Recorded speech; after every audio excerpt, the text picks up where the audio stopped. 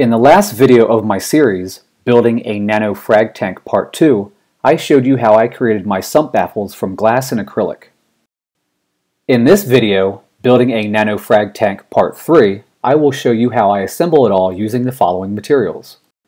GE 100% silicone 1 caulk, paper towels, caulk gun, and a razor blade. And this little round edge tool I made from scrap ABS plastic. This little guy really helps make the silicone look professional after installation.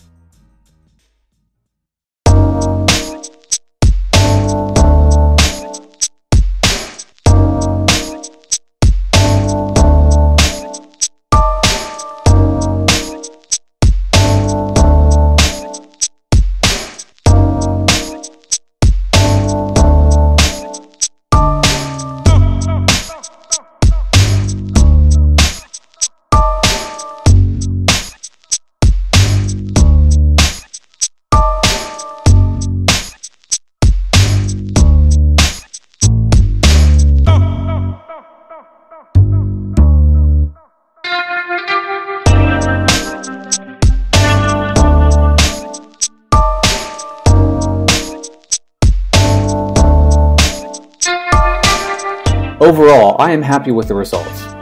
I think the sump came out looking pretty well, and I know it will hold up for years to come.